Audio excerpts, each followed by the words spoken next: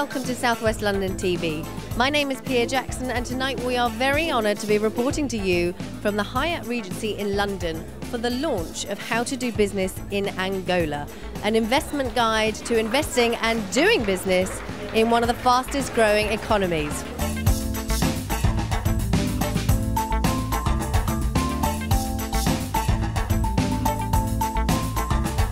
It is time the star of tonight's events and author of How to Do Business in Angola for a private interview. It's Ricardina.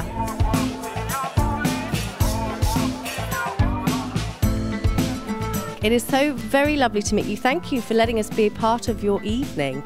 I understand that um, you are one of the friends of Southwest London TV from the Wandsworth Chamber of Commerce. Is that right?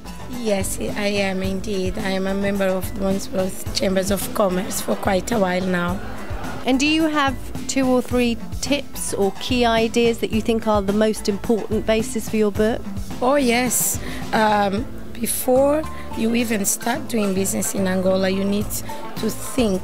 You need to find out whether your product, your service, or your business model fits in the country's um, requirements and needs. There's lots of resources in Angola, and um, Angola has many or numerous opportunities for investment, but it doesn't mean that the, they are the right ones for your business. And that you also should have a local partner. Without a local partner, you are bound to fail. And you need to address the language barrier. Angola is a Portuguese speaking country, and just because uh, English is the commercial language, don't assume that everybody in Angola speaks English. This is Sunil. Sunil, very lovely to meet you. Tell us what brings you here this evening. I did a course with Ricardina last year, and so I know her very well. And in fact, we were writing our books at the same time. I've always found Ricardina to be a very fascinating individual. Um, she's a fellow professional. I met her in the course of legal practice in the United Kingdom.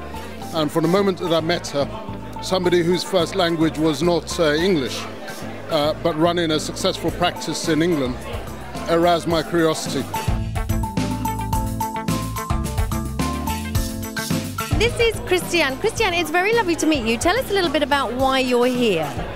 Oh yeah, I'm very glad to be here today because Ricardina is a very important person in a Portuguese speakers community and um, I'm managing a newspaper for Portuguese speakers here in London and we are trying to attract people to discuss um, the relevant topics for us, Portuguese speakers, and uh, business as well. Africa is very important for us.